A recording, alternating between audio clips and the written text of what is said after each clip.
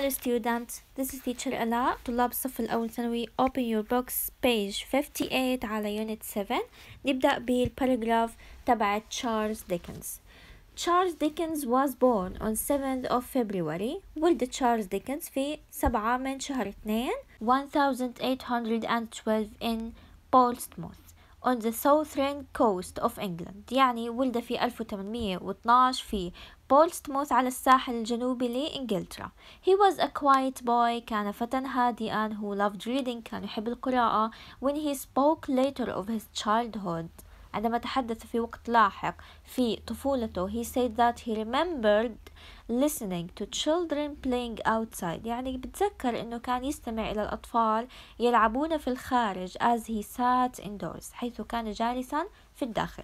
He always preferred reading to playing with other children. يعني كان بحب يقرأ ويفضل القراءة على اللعب مع الأطفال الآخرين. At the age of 12 لما كان عمره 12 life for his family changed very suddenly يعني تغيرت حياة عائلته فجأة his father had financial problems يعني كان مع أبوه مشاكل مالية so Charles was no longer able to attend school regularly يعني كان مش قادر إنه يلتزم بالمدرسة بانتظام عشان هاي المشاكل And he had to work at a factory وكان عليه العمل في مصنع. The loneliness he felt there was an important influence on his writing. يعني شعوره بالوحدة هناك في المصنع كان إشي ملهم أو إشي مؤثر لكتاباته especially in his books Great Expectations and David Copperfield يعني لا سيما في كتابه Great Expectations اللي هو التوقعات العظيمة وكتابه ديفيد كوبرسيلد When he was 14 عندما كان عمره 14 عاما Charles stopped going to school altogether and started working as a clerk in lawyer's office in London توقف عن الذهاب إلى المدرسة تماما وبدأ في العمل في مكتب محاماة في لندن كان يعمل ككاتب أكلير كاتب he didn't like working there لم يكن يحب العمل هناك luckily things changed for him again لحسن الحظ تغيرت الأمور بالنسبة له مرة أخرى. تشارلز had always wanted to be a writer. كان دايما بده يكون كاتب and he became a very respected journalist. وفجأة صار صحفيا محترما جدا. هي محترما يعني من قبل الناس. الناس بتحترمه كتير. He began to write short pieces of publications in the newspaper يعني بلش يكتب مقالات قصيرة للنشر في الجريدة. In 1836, a series of pieces called the Pickwick Papers appeared monthly in the newspaper and were very popular. يعني عام 1836 تم استدعاء سلسلة أو مسلسل من الأوراق ظهرت فكانت تسمى في Pickwick Papers شهريا. كانت هاي الصحف تحظى بشعبية كبيرة يعني زي كأنها سلسلة أو مسلسل لكن موجودة على ال newspaper أو على الصحف. Dickens was a famous author by then. كان ديكنز مؤلف مشهور في حلول هذا الوقت. Throughout his life يعني طوال حياته Dickens enjoyed traveling. كان يحب السفر. He traveled to many countries. سافر للعديد من البلدان. Uh, writing novels and giving talks about the serenity of slavery. يعني سافر إلى uh, دول عديدة. كان يكتب روايات كان يلقي محاضرات حول قسوة العبودية. Novels such as Oliver Twist and Dombey and Son highlighted the cruel treatment of people, especially children and child labor in the 19th century. يعني في عنده روايات مثل أوليفر تويست دومبي أند سون هدول الروايات سلطت الضوء على قسوة معاملة الناس وخاصة الأطفال وعمالة الأطفال في القرن التاسع عشر. يعني أنا هيك كانت تتكلم هاي الروايات. He died on 18th of June 1870 at the age of 58 توفي في الثامن من شهر ستة عام 1870 عن عمر يناهز 58 عاما. طيب نشوف الأسئلة. Number one Why did Charles Dickens have to stop going to school? هي مجاوب لي إياها ليه هو بطل يروح على المدرسة؟ لأنه كان لازم يشتغل. He had to work. Number two how did Dickens experiences of work influence his writing? يعني كيف كانت خبرته في العمل كانت تلهمه للكتابة؟ حكى لي إنه شعور الوحدة اللي كان يشعر فيه ديكنز هذا كان يلهمه أو يأثر فيه عشان هو يكتب. طبعا هلأ رح نحط الإجابات بالإنجليزي okay؟ number 3 what was his first successful published work يعني إيش أول عمل له ناجح نشر؟ حكى لي إنها the Pickwick Papers اللي هي كانت زي سلسلة من الصحف. طيب number four what issues did many of his novels highlight يعني إيش كانت ال الروايات تبعت ديكنز كانت تسلط الضوء على إيش؟ حكالي أو على أي قضايا كانت تسلط الضوء؟ على القضايا قسوة معاملة الناس قضايا العبودية قضايا عمالة الأطفال. نمبر 5 and 6 الإجابة بتعود للطالب وأنا هلأ بحط لكم إجابة مقترحة. Okay, here are the answers. Number one, he had to stop going to school because he had to work. Number two, he felt lonely at work and his influenced his writing. Uh, number three, the Pickwick Papers uh, was his first successful work. Number four, many of his novels highlighted the issues of suicidality to children and child labor. Okay, هلا القاعدة بتحكي لي عن ال verbs followed by gerunds or infinitives. الأفعال اللي يا إما بيجي بعدها ing أو بيجي بعدها infinity يعني الكلمة مجردة.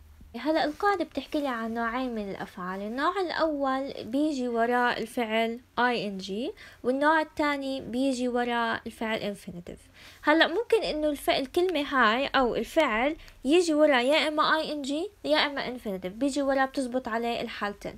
هلأ المطلوب منا بهاي القاعدة بس لازم نحفظ أو نعرف الأفعال اللي بتيجي وراها جي والأفعال اللي بتيجي وراها infinitive والأفعال المشتركة يعني بتيجي وراها يا إما ing يا إما infinitive زي ما هو موجود هون عندي بالشاشة ال box الأول followed by a gerund. followed by a gerund يعني بيجي وراها ing هاي الأفعال موجودة بال box الأول. الأفعال موجودة بال box الثاني followed by an infinitive. كيف يعني infinitive يعني الفعل بيجي زي ما هو لكن بنحط قبله كلمة to. يعني لو كان عندي مثلا play رح تصير to play okay أما ال box الثالث بيحكي لي عن الأفعال اللي followed by gerunds and infinitives بيجي بعدها يا إما ing أو infinitive عادي بيجوا التنتين بعدهم. نفس الإشي هون في عندي يعني هون في أفعال مضافة وهناك في أفعال مضافة. يعني ممكن تلاقي أفعال موجودة هون مو موجودة بالصورة اللي قبل وممكن العكس. هلأ مو غلط إنه إحنا نعرف كمية أكبر من الأفعال الموجودة بالكتاب. هلأ عندنا العمود الأول بحكي لي عن الأفعال بتيجي مع ال ing هي كاتب لي plus verb ing والعمود الثاني عن الأفعال بتيجي مع ال infinitive رح نحطه مع ال verb أما اللي موجود تحت رح يعطيني يا إما ing أو رح يكون في عندي infinitive. هلا هدول الصورتين اللي عرضتهم رح أبعتهم أنا على جروب الواتساب رح أنزلهم على جروب الفيسبوك واللي مو موجود بيقدر يتواصل معي. أكيد كل إشي موجود بالبايو اللي هو جروب الواتساب جروب الفيسبوك بتقدروا تتواصلوا معي. للي بحب ياخد الصفحات. طيب نشوف السؤال شو بيحكي لي. رح أحكي الإجابات على طول لأنه القاعدة ما بدها أي إشي. بس بدنا نحفظ الأفعال. number 1 reading أصلا مكتوبة. number 2 رح تكون listening. لأني رح أطلع على الفراغ اللي قبل listening رح يكون في عندي remembered. Remembered من الأفعال اللي بتيجي بعدها gerund يعني بيجي بعدها الفعل ing. Number 3 to attend. To attend ليش؟ لأنه اللي قبلها able.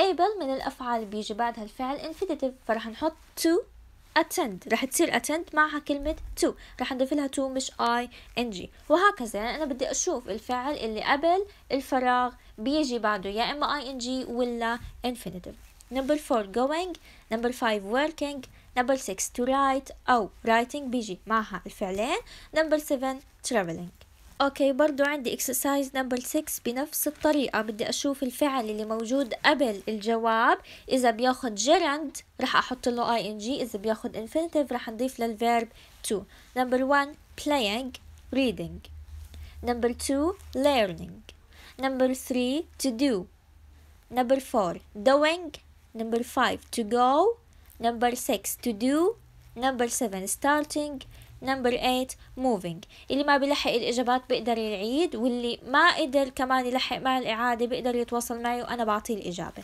okay يلا let's move to Oliver Twist. هلا الصفحات اللي قبل عبارة عن listening. زي ما بحكي دائما أنا نص الاستماع مو عندي وأغلب المدارس ما بتعطي. لكن إذا أنت المدرسة بتعطيك واحترت بسؤال معين تقدر تيجي تسألني. okay Oliver Twist is one of Charles Dickens most famous novels. يعني واحدة من أح آه، أحد أشهر روايات. تشارلز ديكنز هلأ حكينا عنها اللي هي اسمها أوليفر تويست. And it tells the tale of a young orphan named Oliver. بتحكي حكاية عن يتيم شاب صغير يدعى أوليفر. Oliver endures difficult times in 19th century London, a city full of poverty and crime. يعني كان أوليفر بيتحمل الأوقات الصعبة في لندن في القرن التاسع عشر واللي كانت مليئة بالفقر والجريمة. The story القصة like many of Dickens' other novels كانت مثل العديد من قصص ديكنز أو روايات ديكنز الأخرى paints a vivid picture of life for the working class يعني كانت ترسم صورة حية عن الطبقة العاملة اللي هي الطبقة اللي بتكون شوي لتحت كانوا هيك يعتبروها. Especially children during the industrializations of England. يعني على وجه الخصوص الأطفال أثناء تصنيع إنجلترا. Born in a workhouse ولد في ورشة يعني كان هيك بيتهم. أوليفر is treated cruelly. يعني كان أوليفر يعامل بقسوة. Uh, and like all children in a similar position. ومثل كل الأطفال في نفس الحالة. has to work hard at a young age يعني كان يجب عليها أن يعمل بجد في سن مبكرة أو سن صغيرة because of his kind and timid nature بسبب طبيعته الطيبة والخجولة he is often taken advantage of one of the novel's most famous lines please sir I want some more is said when Oliver is persuaded by the other boys in the workhouse to ask for another bowl of soup at dinner time يعني لأنه كان هو كتير طيب وخجول كان دايما الناس يستغلوه وواحد من أشهر سطور الرواية كانت please sir أرجوك سيدي I want some more. أريد المزيد. كانوا دائما يحكوا. له أرجوك أريد المزيد. عندما يتم إقناع أوليفر من قبل الأولاد الآخرين في العمل لطلب آخر. تمام. This is unheard of in the work house and Oliver is punished for saying it. يعني هذا الإشي ما كان يسمع به في ورشة العمل. وكان أوليفر يعاقب إذا بده يحكي هذا الحكي. يعني إذا بده يحكي إنه الطلاب أو الأولاد الآخرين عم بطلبوا مني أعمل إشي كانوا يعاقبوا. The incident of the first of many new obstacles he has to face. يعني هاي هي الحادثة الأولى من بين العديد من الأحداث الجديدة أو العقبات التي سوف يواجهها. As the story progresses مع تقدم القصة we come across characters like Fagin يعني بنيجي عبر شخصيات مثل شخصية فيجن شخص اسمه فيجن a sly old man who takes care of a group of thieving children يعني كان رجل عجوز خبيث يعتني بمجموعة أطفال سارقين Uh, the William Bill Sykes and Kind Rose and Nancy برضو في عنا الشرير بيل سايكس وفي عنا اللطيفة روز وفي عنا نانسي Oliver Twist is a story with many different characters يعني Oliver Twist قصة مع الكثير من الشخصيات المختلفة so it can sometimes get confusing because you have to keep track of so many people يعني ممكن انت آه تكون مرتبك أو هيك مش متبع مع القصة لأنك لازم تتبع للكثير من الشخصيات. However Dickens is very skilled at using powerful descriptions of his characters to evoke strong feelings in the reader. يعني بيحكي لك إنه أوليف ديكن كان كتير ماهر باستخدام أوصاف قوية في الشخصيات لاستحضار مشاعر القارئ. Feelings of sympathy as well as outrage يعني آه ممكن يحكي مشاعر التعاطف ومشاعر الغضب كمان لدى القارئ. Because the characters are so well described يعني كانت الشخصيات موصوفة بشكل جيد. They leave a very memorable image in your mind يعني آه بتركوا صورة لا تنسى في ذهنك and this helps to remember who is who. وهذا يساعد على تذكر مين هاد ومين هاد. My favorite character is Mr. Brownlow يعني شخصيتي المفضلة هي السيد براونلو uh, kind and generous man رجل طيب وكريم who tries to protect Oliver from the life of poverty and crime that seems inevitable for him يعني كان يحاول حماية أوليفر من حياة الفقر والجريمة التي لا مفر منها after Oliver is wrongly accused of a robbery يعني بعد ما أوليفر اتهم خطأ بالسرقة it is Mr. Brownlow who believes he is telling the truth يعني هو الوحيد مستر براونلو اللي كان مصدق انه أوليفر بيحكي الحقيقة and saves him وخلص وقدر يخلصه من هاي التهمة My only complaint was the pace of the book يعني شكواي الوحيدة كانت وتيرة الكتاب. At the beginning it progressed quite slowly and then suddenly seems to speed up.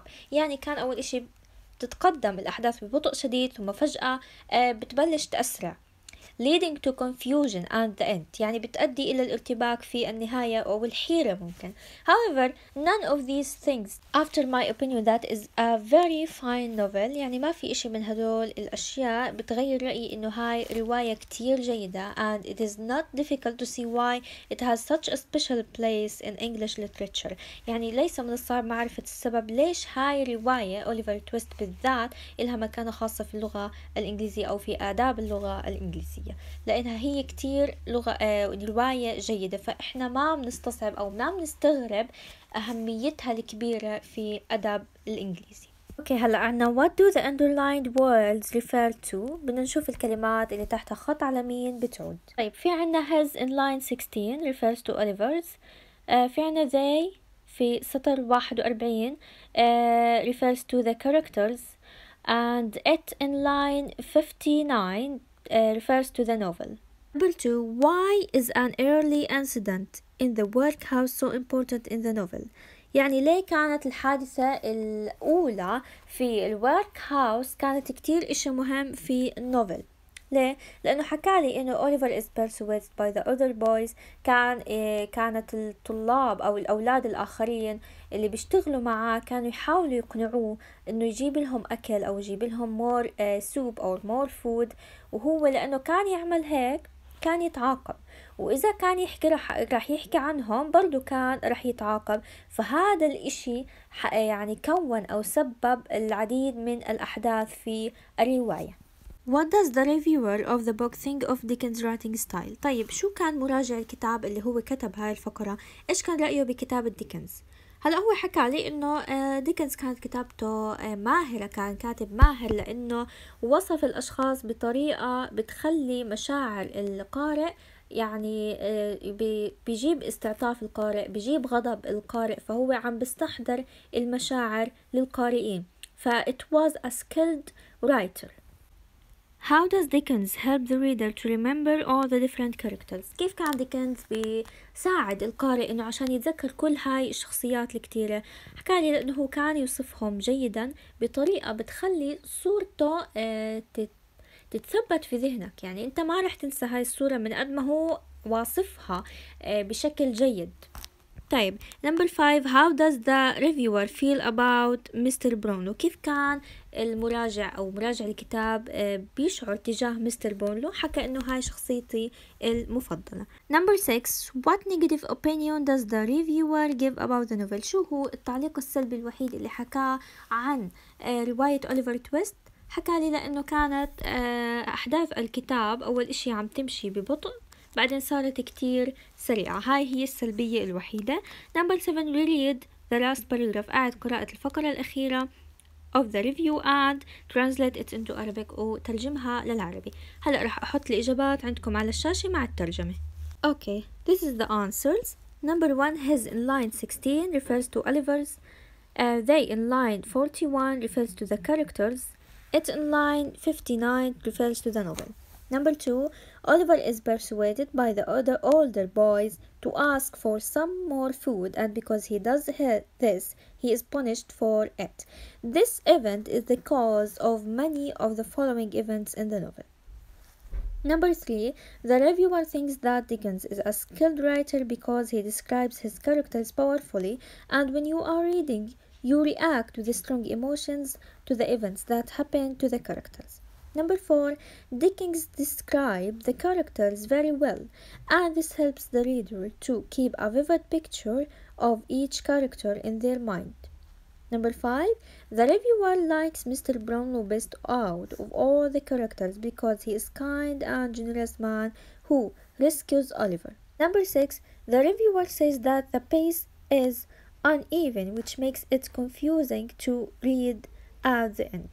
number 7 هاي الترجمة موجودة عندكم okay هلأ هون في عنا من number 1 ل 6 في exercise number 4 في عنا إجابات وإحنا بدنا نحط لكل إجابة السؤال تبعها بدنا ناخده من ال box هاي الإجابات هون number 1 who is the main character Number two, do you like the way that the book is written?